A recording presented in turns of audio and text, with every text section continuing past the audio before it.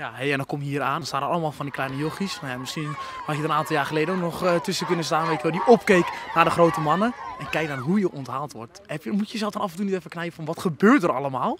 Ja, het gaat best wel snel. Eh, maar kijk, als je hier aankomt rijden en er staan zoveel mensen eh, op je te wachten. En ja, dan loop je de bus uit en staan allemaal jonge jongens, van, ook van de opleiding, staan je naam te schreeuwen. Ja, het is natuurlijk mooi. kippenvelmoment.